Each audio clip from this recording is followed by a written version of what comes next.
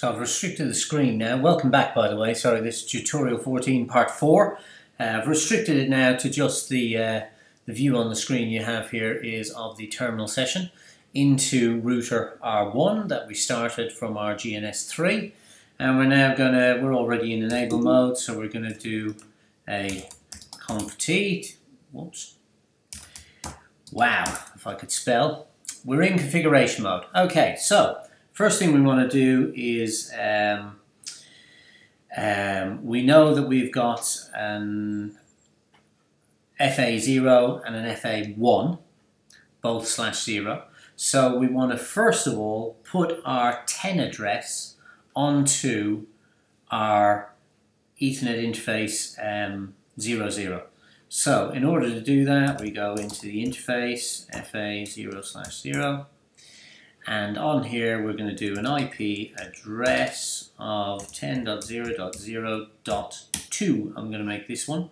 I'm going to make the other end of the link because um, it's on a slash 30 uh, network. To do that, we add the mask 252.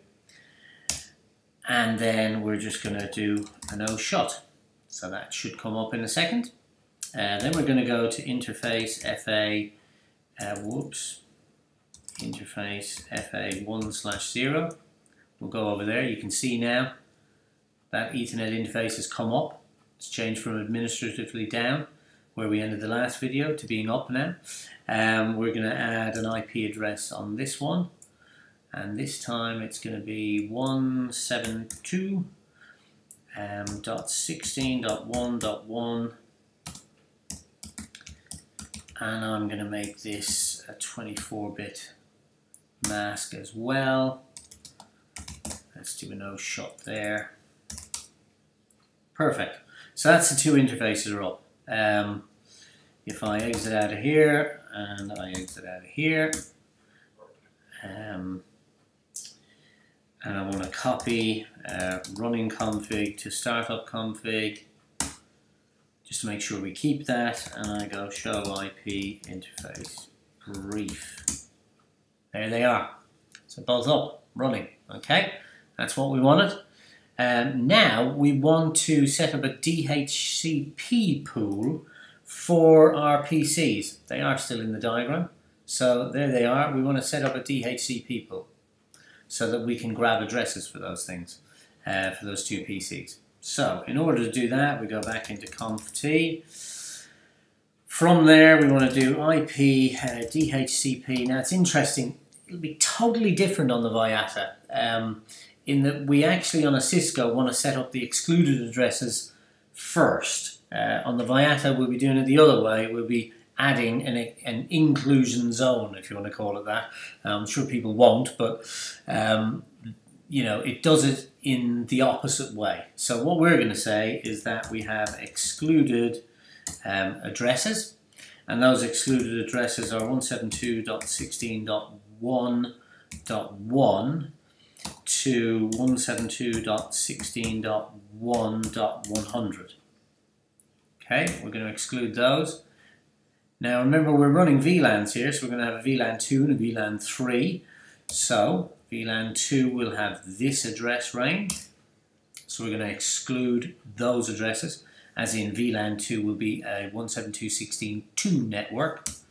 And VLAN 3, when we set it up in a second, will have the threes and we're going to exclude those as well. So that means in the DHCP pool, we will only have addresses 101 at the end here, 101 to 254 available to us. 255 will be the broadcast, yeah?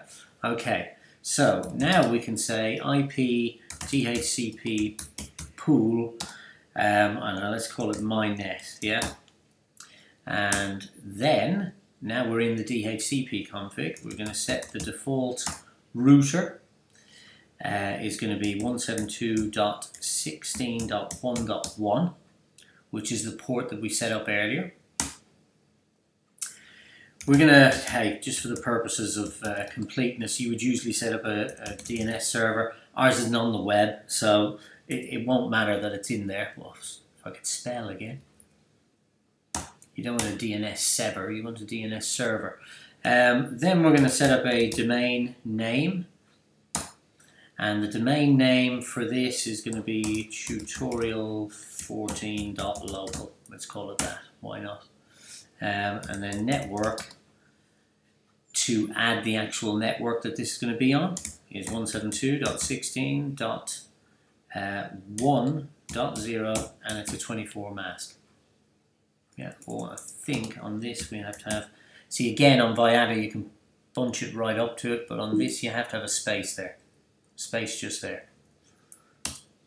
Okay, that's the first DHCP pool set up. Now we want another DHCP pool. This one, let's try and emulate a three-tier um, application. So we'll call this the app layer. Yeah. And on our app layer, we're going to have a default router again. And that, this time it's on the second VLAN. So it's going to be 16.2.1. Then we will have our DNS again. Um, we won't really have one, but for the purposes of completeness, this is how you set it up. Domain name is tutorial14.local and its network is going to be on the 172.16. This is the second VLAN and a slash 24. Exit out of that one, that's the second pool. Now we have the final pool. Oh, I might as well type it in you can arrow up to, to make it quicker. Um, and this time it'll be as if it was a database layer in here. We'll set up its default router is going to be 172.16. Oh, amazingly 3. Um, whoops, I'm going to do that. I'm going to do that. Um, 3.1, not the network address. It wants to be on 3.1. Um, then we will have DNS server, oh. and then domain name, tutorial 14 dot local. And its network is 172.16.3.0 that's where the network goes. Yep. Okay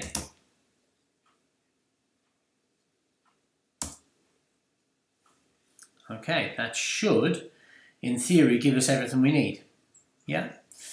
Now we need some sub-interfaces, virtual interfaces on our FA um, 1 slash 0 for those two VLANs that we just set up, VLAN 2 and VLAN 3. Remembering, of course, that this has a trunk connection on the native VLAN 1, but we have the two PCs, this is on VLAN 2, this is on VLAN 3, so they need an Ethernet interface to talk to. To do that, we're going to create virtual or fake um, interfaces or sub interfaces within um, or on top of our actual physical interface 1 slash 0. So in order to do that, it's very simple. We'll stay in config mode and we go interface FA1 slash 0. Amazingly, 0.2 for the second VLAN. Now we're in that interface, we can say um, that the encapsulation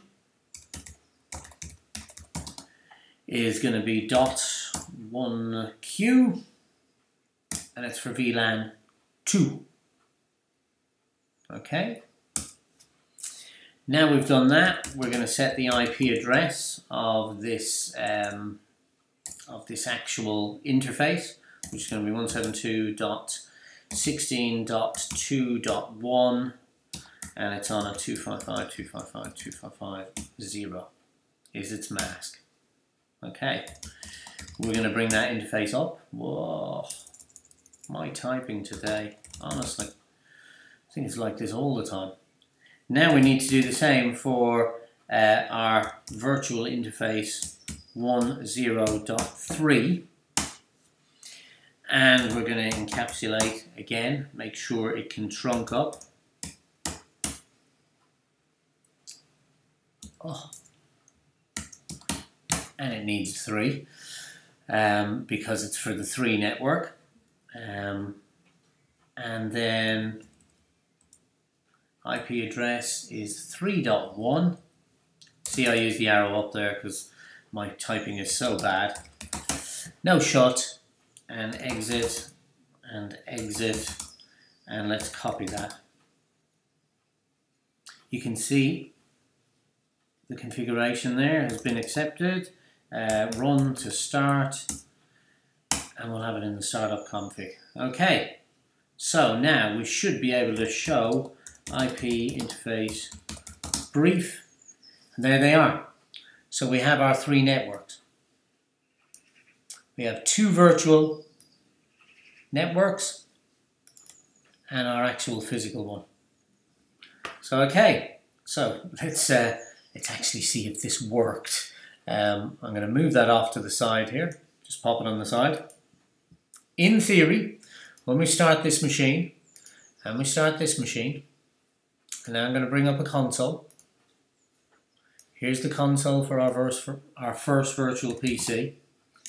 Um, if I do a show IP, yep, it's got nothing.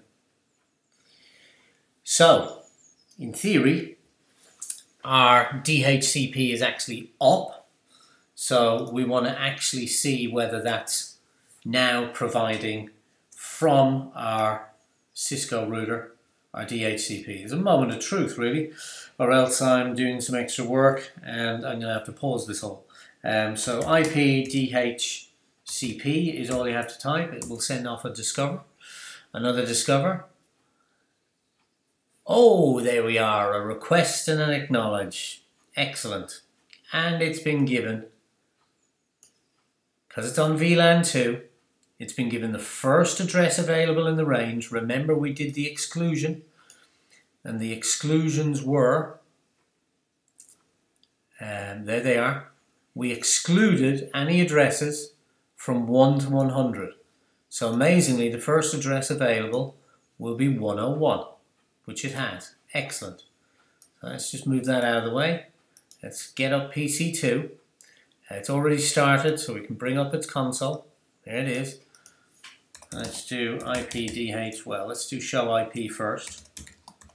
So you can see it's got no address. Doesn't know what it's doing. Discover, discover, offer. Come on. Yes, request and acknowledge. There you go and it's on the 3 network. That's exactly what we'd expect. Now, hopefully, if uh, our trunking is working, we will be able to go to 101. Timeout, timeout. Yes, there we go. Took a little bit to realize where it was going, but that's fine. And obviously the same will work in reverse for our other side, uh, 3.101. Yeah, because it already knows it didn't have any slowdown. Excellent. It's exactly what we wanted to see. So, our left-hand side is all up and running. All up and running. This interface is there. We've configured it, but we haven't we haven't got anything on the right-hand side working. So, join me in the next part. We'll get the right-hand side working, and we'll do this all for, uh, we've done the switch, so we'll do it all for the Vyatta and we'll create a DHCP server.